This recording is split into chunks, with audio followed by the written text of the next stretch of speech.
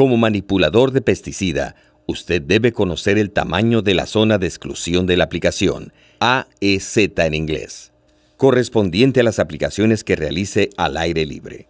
La zona de exclusión de la aplicación es el área alrededor del equipo de aplicación, y esta varía en tamaño según el tipo de aplicación que se esté realizando o la calidad de atomización de las boquillas que esté utilizando. El AEZ puede llegar a abarcar una área que se extienda más allá de los límites del establecimiento para el cual usted trabaja.